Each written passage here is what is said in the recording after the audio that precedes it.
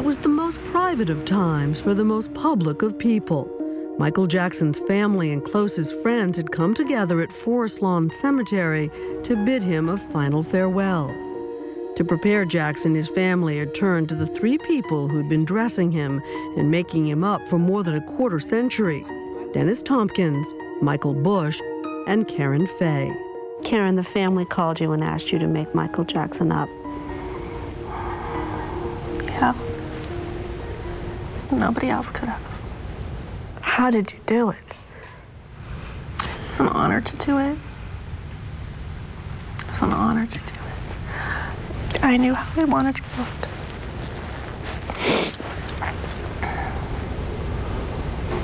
So I did.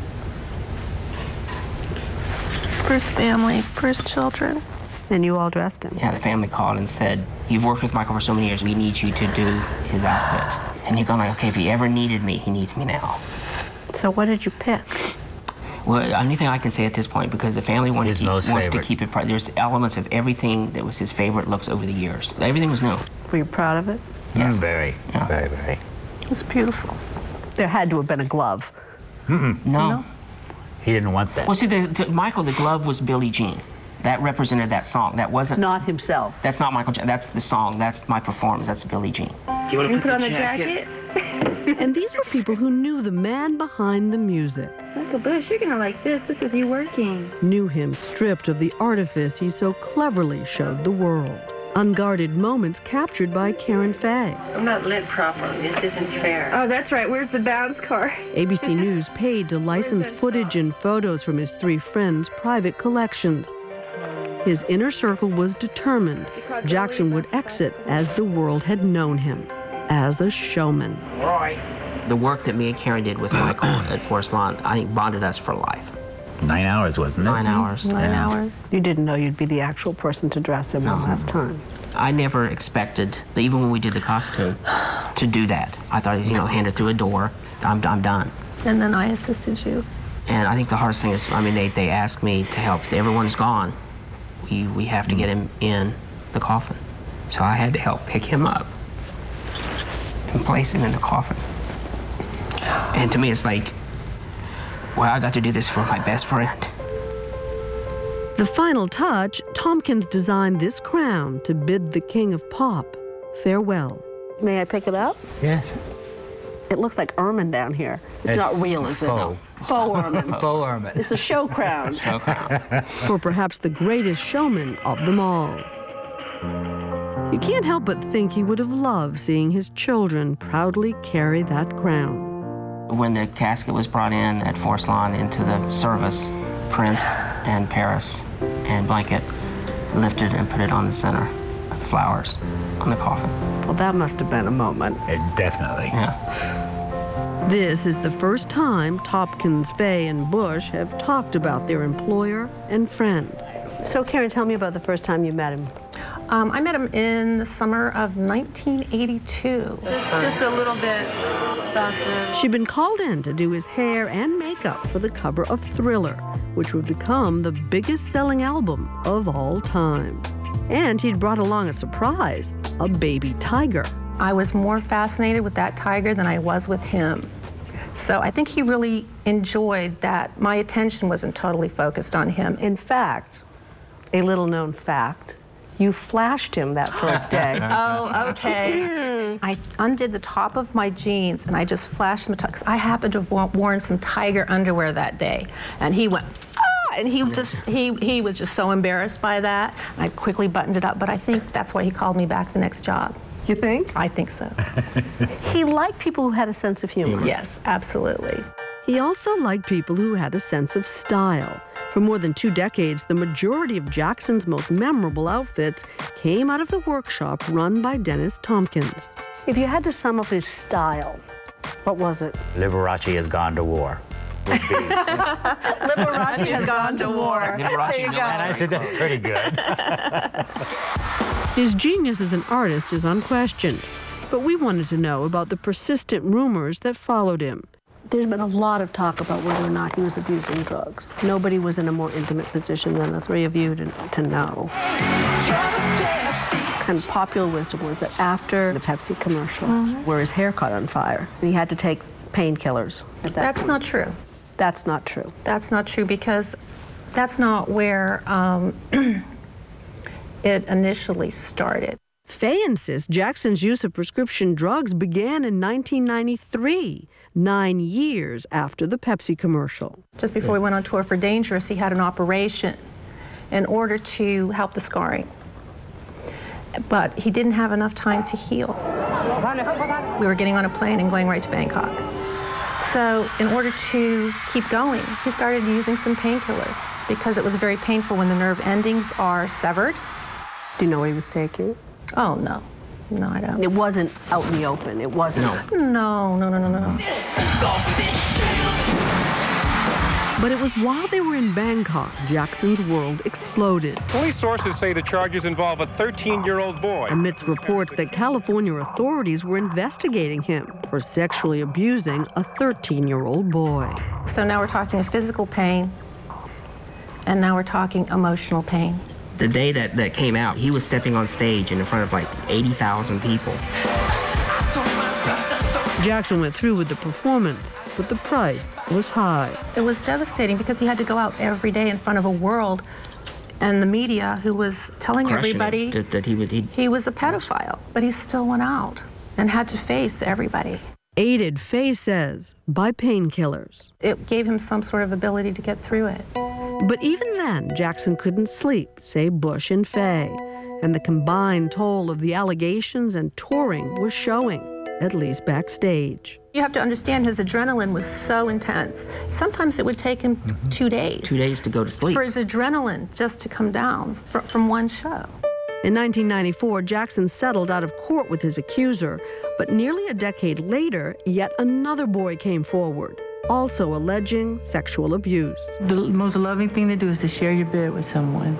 That remark from a British documentary was so incendiary, it fueled Jackson's prosecution. You say the word bed, a lot of people think sexual, and that was the farthest thing from Michael's mind. I mean, we would go do an award show, you come back, everyone jumped on the bed, there were 15 mm-hmm. people on a bed watching the Yep. show or uh, cartoons or whatever movie he had to show. You never saw, you never heard anything in the course of a 25 year relationship that made you think that Michael Jackson was a pedophile. No, Nothing. nothing. I absolutely feel I would have seen something over the years, but not a thing.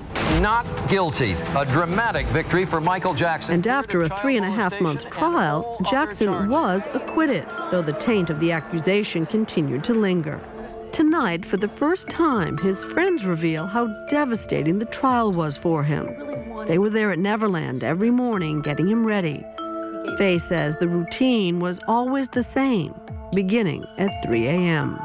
Before I washed his hair, we actually knelt down on the ground. And he put his arms around me, and I put my arms around him, and he would put his head right here and weep. And we would pray for God to help us and, and for people to know the truth. And then we'd get up and wipe our tears, and I would wash his hair. Do you think he thought he was going to be convicted, Karen? He didn't know. I mean, it was so vicious. He had to walk the red carpet into that courtroom every day in front of all the cameras. And every day for that long walk, he had a new outfit, designed by his old pals, delivered every morning at 6 a.m., a boost for his morale. And after you got him dressed, it's like, we love you. No, I love you more. When we come back, new, intimate details from his final weeks from those who were at his side. Did you think that he was vulnerable enough that he might die? Yes, Yes. yes.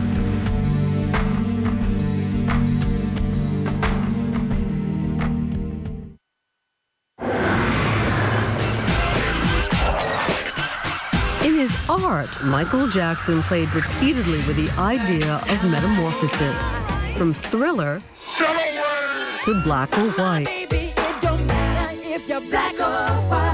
to ghosts, where he becomes a middle aged white guy. And looking back, it seems as if Michael Jackson viewed his own face as yet another canvas, another opportunity to explore change.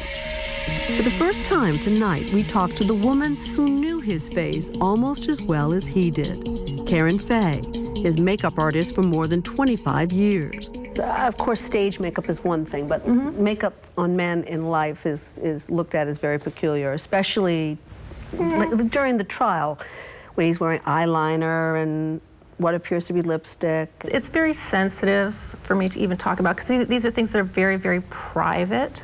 He didn't like the line that was drawn between what's allowed for men and what's allowed for women. He really was very androgynous in the sense that he just took whatever is available to enhance himself as art. So, in some ways, people have said that he saw himself as an artistic canvas. Absolutely. That's the explanation nicely also put, for yeah. the plastic surgery. He was always trying to perfect everything. Plastic surgeons have looked at his face and said eh, that the nose actually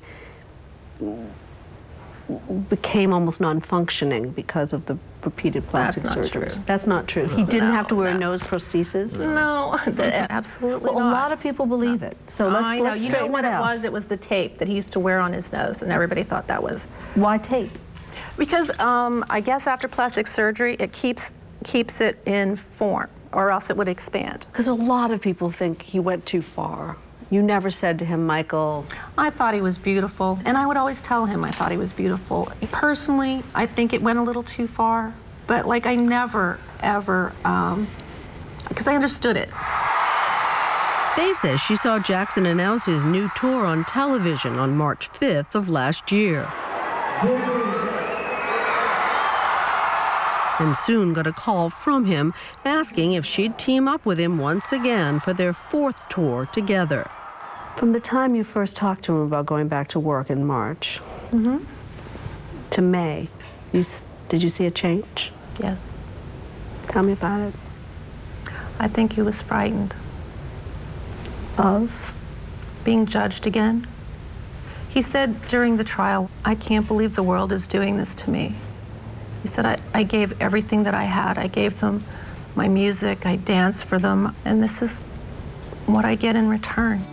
And not since the trial, she says, had she seen such fear in Jackson's eyes. And when it really got down to standing up in front of an audience, all that fear, all that doubt, all that cruelty that people directed at him, he was afraid. He didn't want to go through that again. When you looked at Michael Jackson's face at the end, it looked sad. He was very sad. He was starting to lose weight. Oh, he, he wasn't sleeping, and he was losing weight drastically. The week before he died, at probably about 15 pounds, I would say. And he didn't have 15 pounds to lose. No, no. In fact, when I met him in March, one of my very first concerns was that I thought he was too thin to really be able to do a show. But you know, I thought, oh, plenty of time. Once he starts working out, getting on the dance floor, he's going to eat, he's going to build himself up again. But I did tell Kenny Ortega, I said, Kenny, we really have to get some weight on him. Director, director of choreographer. And that, that was a main concern. So there was a lot of pressure going into this. A lot of pressure. This was going to be his first major appearance since the trial. A lot more shows than he wanted or agreed to do. And the first time his kids were going to see it. Yes. Hmm. So there was a lot on the line. And Jackson wanted to top himself. Better dancing, better costumes. Even the 3D movie is part of the show. Did you also feel that he was taking drugs at that time? Medication of some sort? I really don't, can't really go here because of impending trial and things like that. So we can't, this is kind of like a difficult area. Well, were you concerned about him? On... I was extremely concerned with Michael's well being. I was very concerned with his well being. You'd seen him in dicey situations before. Were you more concerned than you'd ever been? Absolutely, a lot more concerned. He was like bone thin, and he grabbed me on the arm and say, "You promised me you wouldn't tell." Tell what? What I'm seeing. Did you mm-hmm. tell anybody? Absolutely. What did you say? I was talking to the people who had the power to do something about it. What were your fears? I feared that Michael was physically unable to do the shows in his condition. Did you think that he was vulnerable enough that he might die? Yes, Yes. yes. there was just these telltale signs. When is someone going to pay attention? Because it, to me, it was blatant. What was blatant? The way he was like on stage, rehearsing. Um, what was different about it? A lot of start stops. Usually when we did a music video with Michael, they load the camera full of film, they would run it until it ran out. You didn't do two bars of the song and stop. That was Michael's energy. He fed off of what was going on. He didn't have his usual stamina. No, and then you start speaking up, like she said, to the powers that be, and it just seemed like it was falling on deaf ears, or we'll fix that later, or there's more, something else that seemed like it was more important. Because when you see the video that was put out of the rehearsal of the This Is It concert, it sure looks like Michael Jackson's on top of the world. Okay. It's great editing. It isn't the reality that we're seeing. He Absolutely wasn't. not. If, even if you look at the songs, um, the way they're edited, he has three different outfits on for one song. In, in most, they were taken bits and pieces from different rehearsal dates to be able to put it together to make it look like he got through a song. But he, we really didn't get through a whole song. Um, I think maybe, I think we got through two ballads altogether. And sure enough, here in the number Smooth Criminal, five outfits for the same song. But ABC News spoke to three of Jackson's dancers, who in the final rehearsal before he died say Jackson was going all out. And that they were shocked by his death. As for his weight loss, the concert's producers, AEG, say they too were concerned and hired someone to monitor his eating.